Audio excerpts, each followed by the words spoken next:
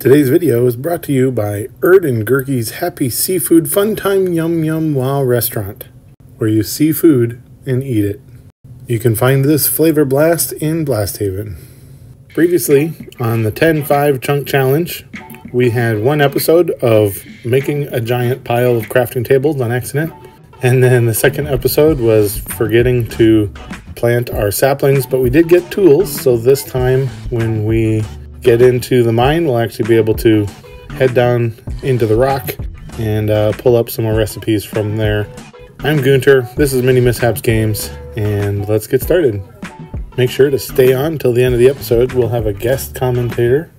So I'm actually really excited for this episode. As you can see on the right, I am placing squares for each of the chunks that we unlock. So the third episode, this is our third square, our third chunk unlocked and um, really just those will probably uh, ultimately be traded out for icons or some other thing representing what's in the chunk.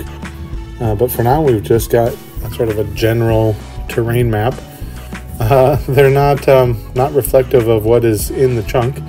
They are just uh, top-down maps generated by AI, and so those will be available for you on episodes until each one is again as they grow the icons will be having to get smaller and smaller uh, so that they fit especially since we're going to be doing i don't know seven or eight or so in this run down to the sand. But there we have uh, episode one's tower of crafting tables and planks and dirt. And we're just going to hop up here and take a look out before we start so our plan today is probably to get into the mine, actually get some stone for our next set of tools, uh, and hopefully find, uh, you know, iron. if not iron, uh, certainly coal, so we can get um, torches. Uh, couldn't believe uh, that we lost that one stick last time. But so this is where we're going to probably start our timer. All right, we are ready for our gathering stage in three, two, one. All right, we've got 10 minutes on the wall there. And um, I'm trying a different set of timers so I don't have to run back and forth across the room. I now have, I do have a timer this time. So the last couple episodes I wasn't able to watch along with you guys on the timer. This time I am. I'm, I'm trying it out to see if I uh, can keep from uh, having anxiety about the timer. And if not, then I'll just go back to having it across the room. But for as for right now, we're to try it. And uh, we got our first stone and our first stone recipes, so that's awesome. It's exciting. And how this is working is I am going to mine down um, in this staircase pattern until I hit the 15s of the first chunk. So we'll we have access obviously to the chunk all the way down to bedrock in all three chunks but for now we're just going to be uh, hitting those 15s in the first chunk and um, then turning and, and kind of spiraling down that way. Um, and that is uh, mostly to help me keep track uh, of where I am. It'll be easier to hit those numbers and and then um, stay in that pattern. So Kind of surprised we haven't seen any copper or coal yet, but um, it is a game of probabilities. So hopefully by the end of this episode, we'll have something that is more than just the cobblestone. And if not, then we'll just build out of the cobblestone, and that'll be good too. We'll have our. I'm aiming for that um, second chunk, maybe being wood. And if the chunk is too big, if we think we can fit uh, two buildings, then the first building would be for wood and the second building would be for stone. And that's put in the comments what you would want to do stylized for wood, stylized for stone, because right now our ideas are fairly basic. Ooh, we got granite and some recipes to go with it. That's awesome. Uh, because right now I, I have. Mm, shown that it is difficult to build much in five minutes. So, in, until some of these uh, ideas start taking form, it really is um, going to be kind of simplistic, but that's okay. That's we're here for it, and we can always add to it. So I got my base of stone. I got down to that second 15, and I decided I'm going to come up and uh, work out here on the borders and boundaries, as well as uh, getting some dirt. Uh, take out some more of these logs, get those to fall. Oh, hey, a pig. Awesome. And uh, it looks like the pig is not going to drop anything, but uh, oh nope, it did. I got I got pork chops, so it stayed in the 15 long enough. That's uh, one of our first animals. Uh, I think the other day we had a wolf catch a sheep, um, but I think the pig here was that was our probably our first mob uh, that we that we caught on the 15 in the right time during the the gathering resources time. So that's pretty exciting. We've got um, a couple of the trees that we've planted have grown. I um, technically for the challenge, I suppose I could have stood there and time lapsed a little bit uh, to let everything grow, but I kind of like the idea that um, the game is happening in real time as you guys are, are getting to watch. So we're going to go down. I'm going to at least break this first pickaxe um, so that we can since we're gonna now that we have stone we can make oh wow that didn't take much at all it was it only apparently had one hit left on it all right so we'll mine a little bit with the second pickaxe the um but now that we have that stone um, we probably won't have much occasion for making the wooden set of tools anymore uh, unless for some reason we we lose all of the stone or use it up or not entirely sure how that would happen, but it's Minecraft. It's a game about mining. We're going to be digging. There's going to be plenty of cobblestone to go around. So we are on the, I think, third or fourth set of 16s digging down. And this is probably one of the more redundant activities that you guys will get to watch. Um, but uh, probably will be the slowest time you watch us mine uh, because after today we'll hopefully have stone tools. And so they'll go a little bit faster. And if we find iron then we will uh, have even faster tools unless we unless we use the iron for something else. So yeah for all of you that do minecraft put in the comments if you have favorite stone or iron recipes things that you can't live without in your minecraft worlds. And uh, I know heading towards uh, the sand and the water, I will probably want to eventually have a furnace, which we'll have plenty of stone for if I remember to make it, and then um, buckets for uh, using the, some of the iron to make a bucket. Because um, once we have a bucket, then we um, we can get all kinds of you know our our infinity water source once we get to one that has water blocks. And there we go. That's our second pickaxe. So back up to the surface. I'm also realizing that in future episodes, I will probably have to spend entire blocks dedicated to one area because otherwise, we'll be spending a lot of time moving between the underground and overground. There's a horse, probably outside my 15s. Yes, it is. So you get to just enjoy the side of the hill there, horse. Hey, another pig. It's a day for mountain pigs. Kind of makes me wish that there were recipes you could get from catching a pig, but they drop pork chops, which also right now are kind of uh, limited to giving us experience when we cook it in the furnace um, because there aren't any pig recipes. The sheeps have all the wool, and the cows and horses have leather. Um, pigs are pretty much just a food source. So, um, well, I suppose if we find a saddle, we could ride the pig around as well.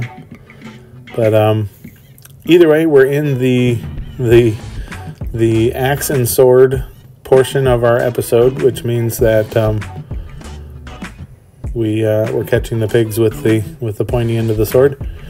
And um, if we encounter a pig on the other side, then we'll maybe try and build fenced enclosures for the different animals. And I have that in mind for the third uh, chunk. So our first chunk here, our dirt mountain, and then the second chunk will be the storage for wood and storage for stone, and then maybe in that third chunk have uh, start building fences for the for the animals. And then um, so I keep coming back to make these uh, kind of corners and things more accessible. Again, I don't have any more pickaxes, so I am stuck, I guess. Uh, collecting dirt. Can't have too much dirt. I mean, technically, we've had two episodes and we ran out of dirt both times, so um, I should remember and remind myself to take a couple of dirt back over to the beginning. It's been two episodes and I still. Ooh, is that sheep in my 15? I don't think it is. I think that's his. Oh, there he goes. He's leaving. All right, lucky sheep. Looks like we got about a minute on the timer. I'm going to head back up here and um, take out, maybe take out some more dirt. Maybe I won't. And, um, that sheep in the, man, they just keep, animals just keep leaving during the collection time. It's like they know. They come and hang out in the in between times. Last time we had llamas, this time we have got pig and sheep. But uh, the sheep seem to be smart enough to stay outside of the chunk there. All right, so I think that's probably all I can grab for my build time, even though I've got about 10 seconds left. I'm going to start uh, kind of planning my my build time. So, ended up, we've got planks and stone and some granite. All right, we are ready for our building stage in three, two, one, and there we go. We have got our five minutes up for our build time, and I think we're gonna build. We're gonna get grab basically everything out of the chest here that we can. And first things first, we're gonna make those uh, stone tools. So I need to get some. There we go. Get a couple of replacement pickaxes. Uh, looks like we got our torch recipe. I'm not entirely sure why you get the torch recipe for making a stone pickaxe, since it takes a coal and a stick to make the recipe, and neither one of those is stone or pickaxe.